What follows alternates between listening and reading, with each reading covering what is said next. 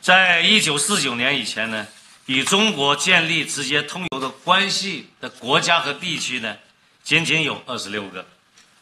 经过我们七十年的不断努力，我们现在与世界两百多个国家和地区建立了通邮关系，而且我们国家呢，在快递企业呢，还加快在重点国家和重点地区的网络布局。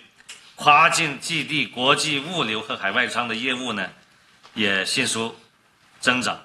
而且在这个七十年间呢，我们还恢复了万国邮联的合法席位，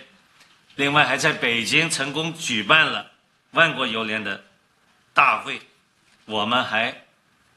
全面开放了国内的包裹市场等一系列措施，我国呢多次当选。为万国邮政联盟行政理事会和经营理事会的理事国，深度参与万国邮联体制改革、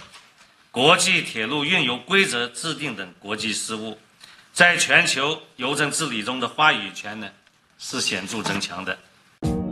更多精彩尽在中国新闻网客户端。